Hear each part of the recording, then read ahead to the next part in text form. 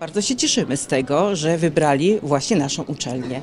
Najwięcej studentów zrekrutowaliśmy na kierunku psychologia, y, na kierunku e, filologia, pedagogika, biznes turystyczny. Natomiast na Wydziale Nauk Medycznych i Technicznych ym, najwięcej studentów zrekrutowało się na kierunku fizjoterapia, pielęgniarstwo, a także wychowania fizycznego.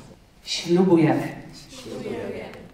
Wybrałam psychologię, ponieważ to było moje marzenie dzieciństwa.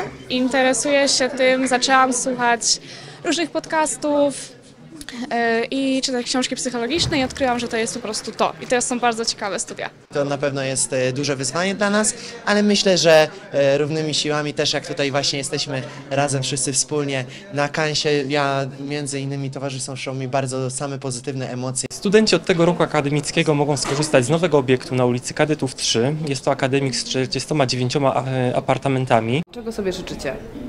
Dużo cierpliwości, myślę. przede wszystkim cierpliwości, cierpliwości. samozaparcia i powodzenia po prostu. Wytrwałości, tak.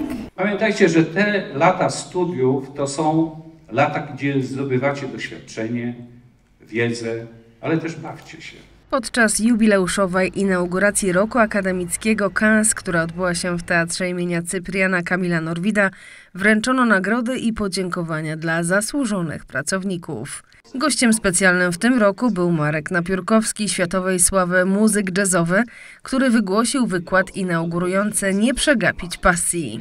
Tradycyjnie nie mogło zabraknąć także części artystycznej z Markiem Napiórkowskim w roli głównej.